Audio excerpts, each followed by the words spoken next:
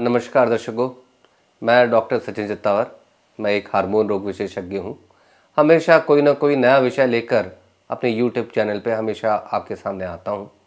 आपने उत्साह बढ़ाया, इसलिए सर्वप्रथम आपको ये वीडियो अच्छा लगे तो सब्सक्राइबर बेल पे ज़रूर लाइक करिए, जिससे हमारे सब्सक्राइबर्स बढ़ेंगे, हमारा उत्साह बढ़ेगा। मित्रों, हम हमेशा नाना प्रकार से मधुमेह से संबंधित बातें करते रहते हैं कि मधुमेह का इलाज कैसा होना चाहिए डायग्नोसिस कैसा होना चाहिए फॉलोअप कैसा होना चाहिए, दवाइयाँ कैसी होनी चाहिए कौन कौन सी दवा लेने से क्या फ़ायदा है? तो क्या होता है कि मधुमेह के मरीज़ हमारे पास आते हैं तो कुछ साल पहले की बात है। मैं ऐसे ही मरीज़ देख रहा था तो बाहर से हल्ला आया, कुछ ऐसा लगा कि कोई मरीज़ दुखी है, परेशान है। हमारे पास क्रॉनिक बीमारी वाले लोग आते हैं तो नाना प्रकार की परेशानियाँ रहती है। तो मरीज़ के आने से, पदार्पण से पहले ही हमें पता चल जाता है कि उनके पैरों के गुण कैसे हैं? तो पता चला कि कोई सीनियर प्रोफेसर आई हैं और अब वो रिटायरमेंट के दौर में है और आते आते उन्होंने बाहर मेरे स्टाफ से लड़ाई करी, फिर आके मेरे सामने बैठी। मैंने पूछा तो हर बात का, हर उत्तर का एक प्रत्युत्तर था, हर बात का एक काट थी। वो बातों को काट लेती थी। बातों को कन्वर्सेशन हमारा जो संवाद है, वो निरंतर हो ही नहीं पा रहा था। कहीं ना कहीं उनमें बहुत गुस्सा था, कहीं ना कहीं तुनक मिजाज भी मिजाजी भी थी और कहीं ना कहीं उनका ध्यान एक जगह केंद्रित नहीं हो रहा था।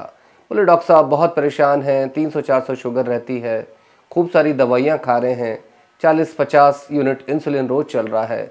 फिर भी देखिए, शुगर देखो तो वही ढाक के तीन पात, ढाई सौ, तीन सौ। मैंने विवेचना करी, बातें करी, बहुत मुश्किल था उनसे बात करना क्योंकि वो हर बातों को every statement has the counter statement तो ऐसी स्थिति में बड़ा मुश्किल हो जाता है मित्रों, आपके साथ भी होता होगा। कई बार ऐसी परिस्थितियाँ देखते हैं, ऐसे व्यक्तित्व आते हैं। फिर भी मैंने संयम रखा क्योंकि अब हमारा तो रोज का काम है। फिर मैंने उनसे ये कोशिश करी परमिशन लेने की कि मैं उनका इंसुलिन कम करना चाहता हूँ, दवाइयाँ कम करना चाहता हूँ। तो उसका उलट उन्होंने जवाब दिया, डॉक्टर साहब, मैं तो बड़ी हुई शुगर लेकर आई हूँ। आप दवा कम करने की बात कर रहे हो, इंसुलिन कम करने की बात कर रहे हो। बड़ा मुश्किल से उनको बड़ा अविश्वास हुआ कि वो किसके पास आ गई हैं। और बहुत मुश्किल से उनको बनाया गया और वो मान गई। तो पहली स्थिति में जब आई थी तो बहुत चिड़चिड़ी थी तुनक मिजाजी था, बहुत ज़्यादा गुस्सा भी था, बहुत डॉक्टर को बहुत संयम से उनसे काम लेना पड़ा। फिर मैंने उनको दस दिन के बाद बुलाया। तो दस दिन के बाद मैडम फिर से आई। तो अब की बार हमें बाहर से ही कुछ अच्छा माहौल सा दिख रहा था। बहुत देर तक वो बैठी हुई पिछली बार तो बैठने में भी उनको मेरे स्टाफ से खूब लड़ाई करे कि वेटिंग इतना लंबा हो रहा है, पर इस बार ऐसा नहीं हुआ। वो आराम से बैठती रहीं स्टाफ से भी प्यार, मोहब्बत से बात करती रहीं। फिर मेरे पास आई तो फिर मेरे पास बैठते बैठते उन्होंने दो तीन मुझे मज़ाक वाली बात में लहजे में भी बातें करी और उनका मूड बिल्कुल अलग था, बहुत जोशीली थी और कहीं कोई नकारात्मकता नहीं झलक रही थी। तो अब शुगर देखा तो शुगर इंसुलिन कम करने और दवा कम करने के बाद भी शुगर खाली पेट, सौ के आसपास, भरे पेट एक के अंदर। तो बोले, डॉक्टर साहब, ये तो कमाल हो गया। अब मुझे चिड़चिड़ापन भी नहीं लग रहा, मेरी याददाश्त भी अच्छी हो रही है, मन हल्का हल्का लगता है, बहुत फ्रेश लगता है और नींद भी अच्छी हो रही है। और देखिए, क्या ऐसा हुआ कि आपने दवा और इंसुलिन दोनों कम कर दिया और शुगर भी अच्छा आ रहा है?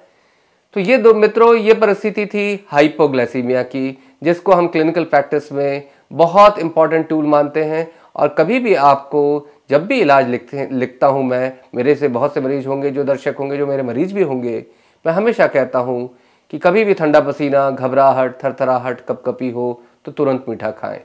क्योंकि जब भी शक्कर सत्तर के अंदर आएगी तब आपको ये परिस्थिति निर्मित हो सकती है।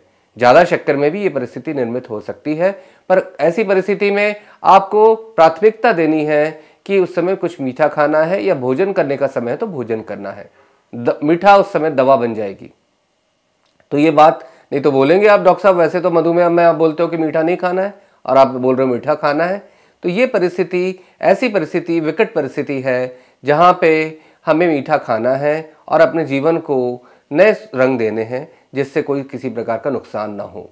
क्योंकि अगर हाइपोग्लाइसीमिया बार बार होता है तो इस उदाहरण में भी देखिए, आपकी याददाश्त कम होने लगती है, आपका व्यवहार बिगड़ने लगता है, जीवन की आपकी जो निधि है, वो आपका व्यक्तित्व है।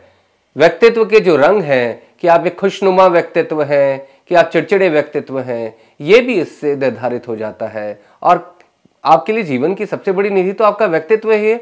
आपके आसपास के संबंध हैं, आपके मित्र हैं, आपके रिश्तेदार हैं, सभी से रिश्ते बिगड़ने लग जाएँगे। अगर लगातार शुगर कम होगा और याददाश्त अगर कम हो गई तो आपकी योग्यता कम होगी, आपके व्यवहार में अंतर आएगा और आपके चेहरे की चमक भी कम हो जाएगी। इसलिए मित्रों, कभी भी डायबिटीज़ के इलाज में ठंडा पसीना, घबराहट, थरथराहट, कपकपी, बहुत तेज भूख लगना ऐसा हो तो ये शक्कर कम होने के लक्षण है। उस समय तुरंत कुछ मीठा खाएँ। अगर एक रूल ऑफ़ 15 है, अगर ग्लूकोज का पाउडर 15 ग्राम ले लें, आधे ग्लास पानी मिला के ले लीजिए 15 मिनट राह देखिए, नहीं आराम मिलता है तो फिर से ग्लूकोज का पाउडर 15 ग्राम लीजिए और 15 मिनट वेट करिए। अगर बेहोशी हो गई तो तुरंत उस समय तो डॉक्टर के पास ही जाना पड़ेगा नर आसपास के नर्सिंग होम में जाना पड़ेगा। पर आप बोल सकते हैं कि डॉक्टर साहब, हमारे घर के आसपास तो नर्सिंग होम इतना है नहीं करीब, तब क्या करें? ले जाने तक आपके पास अगर घर में हनी है या शहद है तो शहद को मसूड़ों में लगा दीजिए। या फिर इसी ग्लूकोज के पाउडर का थिक पेस्ट बनाइए, मसूड़ों में लगाइए, जैसे ही मरीज़ को होश आने लग जाए, पानी में मिला के दीजिए। तो तब तक आप ये कर सकते हैं, फिर डॉक्टर नर्सों के रास्ते डेक्सट्रोज देंगे, मरीज़ बिल्कुल ठीक हो जाएगा। तो हमें इस परिस्थितियों से बचने के लिए आपको हमेशा तैयार रहना होगा। ये कोई कहानी सुनी होगी ना, सियार आया सियार आया, जो बचपन में सुनाते थे? तो वो हर बार ही बुला लेता था तो गाँव वाले जब सच में सियार आता है तो बचाने कोई नहीं आता। तो इस परिस्थिति को समझते हुए हमें हमेशा ध्यान रखना है कि कभी भी ठंडा पसीना, घबराहट, थरथराहट, कपकपी हो तो तुरंत मीठा खाना है। तो ये सियार आया वाली कहानी हमारे साथ नहीं होनी चाहिए। तो जब भी हमें आवश्यकता लगेगी, हम अपनी मदद स्वयं करेंगे, जिससे शक्कर हमारी सामान्य रखेंगे।